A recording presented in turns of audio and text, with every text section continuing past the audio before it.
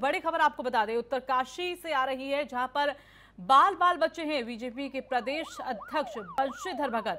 बताया जा रहा है कि संतुलन बिगड़ने पर कार खाई में जा सकती थी, लेकिन मुड़ गई। पेड़ के ज़रिए ड्राइवर ने कार को रोक दिया। तो बड़ी खबर आपको बता रहे हैं, बीजेपी के प्रदेश अध्यक्ष उत्तराखंड के बंशीधर भगत, जहाँ पर एक बड़ा हादसा उनके साथ हो सकता था, लेकिन बाल बाल वो बचा लिए गए हैं। संतुलन बिगड़ने से बताया जा रहा है कि खाई की ओर कार मुड़ गई, लेकिन इसी दौरान इसी दौरान आपको बता दें कि ड्राइवर की सूझबूझ से एक बड़ा हादसा यहाँ पर टल गया है।